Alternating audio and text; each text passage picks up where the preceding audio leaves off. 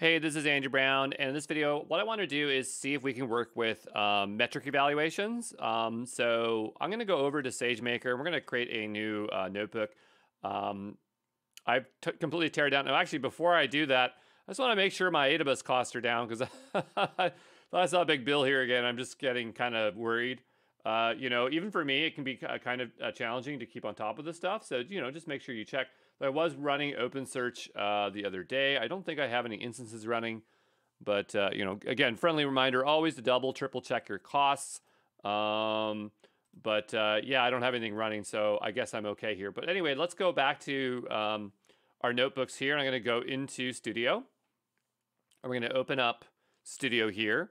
And once that's open here, we will uh, we'll just wait a moment for um, uh, this. And so what I want to do is go over to Jupyter Lab. And yes, I'm going to need a new lab space. This is just going to be for uh, evals. And we're going to just try to do a very simple one like with BLEU. And just so you know, I've already used ChatGPT said, hey, can you give me a simple example? And we'll see if we can walk through this. And so, you know, I'm familiar with N- N- N- NLTK because I actually worked on a, uh, a project a few years ago utilizing it. So I'm hoping that the code just works. Um, and we together can figure out this stuff. So I'm going to go ahead and run this on the MLT3 medium. And when, once that's spun up, we'll try to bring the code over here. Of course, as always, I'll have the, the notebook uh, for you afterwards that you can utilize, but we'll spin this up here quickly, okay? All right, our space is running. Let's go ahead and open Jupyter Lab notebook, SageMaker notebook. And we'll just give that a moment to load. There we go. Let's go ahead and make a new notebook. This one's going to be, mm, we're going to name this blue. And not the proper blue, but the funny name blue. So go ahead here and say blue. Um, and we'll import this. And again, I'm just following what I have over here. So you, you might have to type it out or get it from the repo. But let's go ahead and see if we can get this going here. Now this we might have to install. No, apparently it's already uh, a part of uh, this environment. If you don't have it, then you might have to go above here. You know, if you're running this locally, do pip install nltk, right? And do that. But it's already installed here on this machine. So here it's suggesting we download a data, data set. So we'll go ahead and do that. Mm, and it's working, great. And by the way, we can just go take a look at this really quickly if people aren't familiar with it. This is the Natural Language Toolkit. Okay. A leading platform for building Python programs to work with human language data. It provides easy to use interface for 50 corpus lexical resources. Um, and so, yeah, it's just a really good library. And so we're just able to quickly download data here to start working with it. So what are our next steps? Well, here it's telling us to have a reference trans translation. So I'm going to go ahead and grab this text here. Remember, BLEU is good for checking if one thing's translated to another one. So here we have the cat is on the mat and there is a cat on the mat. Uh, we'll go ahead and tokenize those.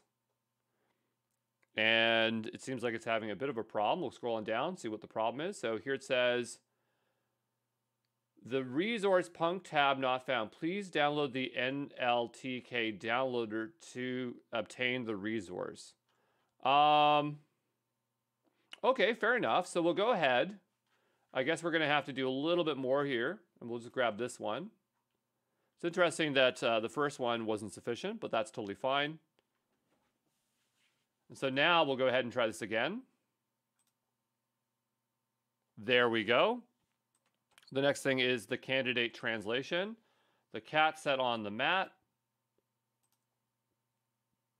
Okay. And then between them, we're going to go run our, our, our BLEU score. So we'll go ahead and run this.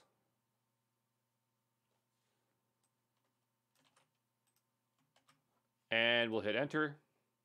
And so it says the BLEU score is 02939. So what does that mean, right? What are we making sense of here? Um, so the question is like, what is the similarity between the texts? And so, you know, if it was a perfect match, then it would be one, or if there's if there's lower overlap, it's it's two.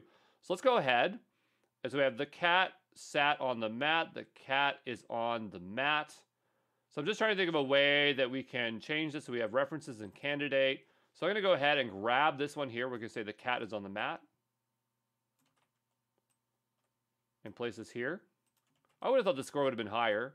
And then we'll go ahead and run this here. And then run it again. And now we have a perfect score, okay? So it's showing whether things are uh, similar or not. Um, there are other ways that we can do our BLEU score. And so over here, they're suggesting, you know, there's different weightings. So I think it is, oh yeah, the weight's over here, right? So let's just take a look here. So by default, uh, uniform weights are up to four grams. You can adjust the weights for uh, to focus on different n-grams.